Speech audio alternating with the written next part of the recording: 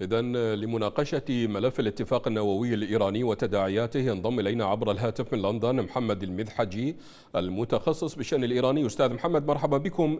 يعني قبل أيام من انتهاء المهلة التي أعلنتها طهران للوقف الوقف العمل بالاتفاق النووي فرنسا تدعوها لاحترام الاتفاق كيف تقرأ تهديدات إيران سواء برفع نسب التخصيب أو بوقف العمل بالاتفاق النووي؟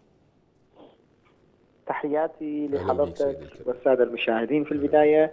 آه، طبعا هذه التصريحات هي جزء من آه، خلينا نقول التوافقات السرية آه، غير الرسمية بين إدارة بايدن وإيران لتأطير المشهد وصولا لتنفيذ الاتفاق. طبعا هكذا توافقات واتفاقيات يتم في البداية مفاوضات سرية عنها وبعدها بالتدريج يتم إظهارها. كما حصل مع الاتفاق النووي آه، في عام 2015 إيران والولايات المتحدة نعم. كان لديهما أكثر من جولة مفاوضات سرية في سلطنة عمان ودول أخرى وحتى في الولايات المتحدة.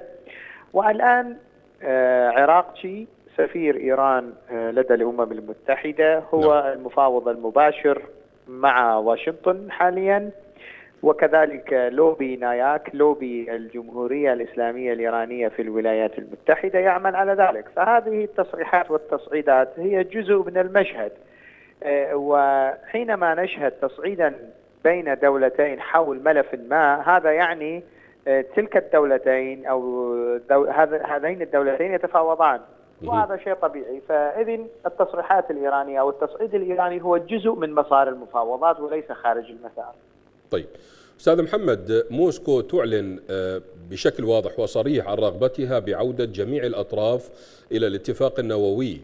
هل نفهم من هذه الخطوة هي محاولة لتمرير الكرة إلى الرئيس بايدن أم نفهمها بأنها محاولة لإثناء إيران عن تهديداتها برفع آه، نسب التخصيب؟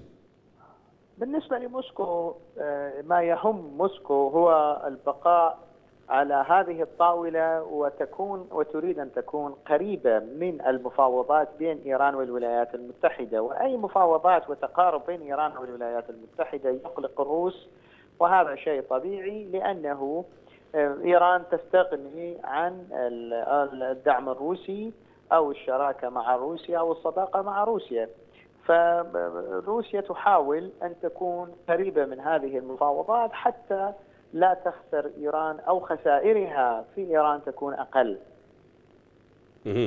أستاذ محمد سفير إيران لدى الأمم المتحدة صرح بأن الكرة في ملعب الولايات المتحدة بشأن الاتفاق النووي. على ماذا تراهن إيران؟ يعني في الحال الحاضر إيران تراهن على خل أنا اصفها باداره أوباما لأنه بايدن جزء كان جزءا من إدارة أوباما والآن الوجوه التي نراها في هذه الأنباء وعلى شاشات التلفزيون يعني أكثر من 70% منها هي وجوه آه، إدارة أوباما خاصة فيما يتعلق بملف إيران. فالمشروع بالنسبة لإدارة أوباما أو بالشأن الإيراني هو مشروع إدارة بايدن هو مشروع أوباما لا يختلف كثيرا.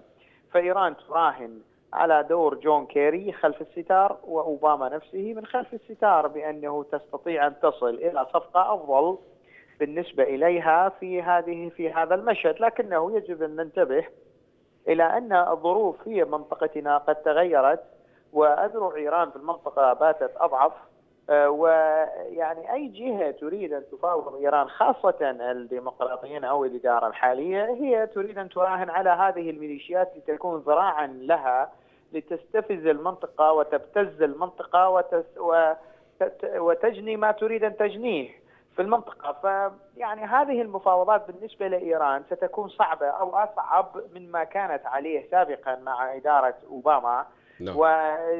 وإيران الآن تحاول من خلال هذا التصعيد بأنها ترفع نسب التخصيب أو أنها ستخرج من أو ستنسحب من الاتفاق النووي أن تعزز مكانتها على طاولة المفاوضات السرية الدائرة حاليا والجارية حاليا حتى تأخذ امتيازات أكبر من الجانب الآخر هل أنت مع الرأي القائل بأن آه، الولايات المتحدة ستعود آه، للاتفاق النووي هل أنت مع هذا الرأي؟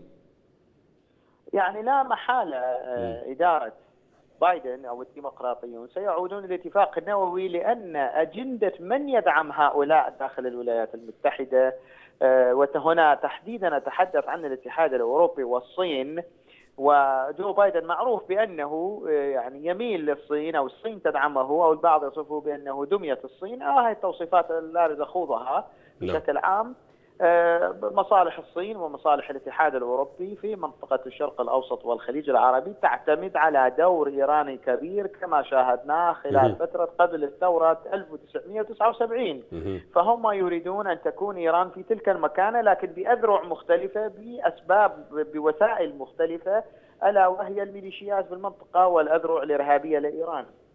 من لندن محمد المذحجي المتخصص بشان الإيراني شكرا جزيلا لكم.